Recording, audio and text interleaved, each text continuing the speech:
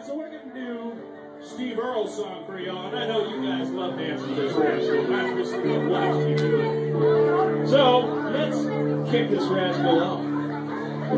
Whenever you're ready, guys.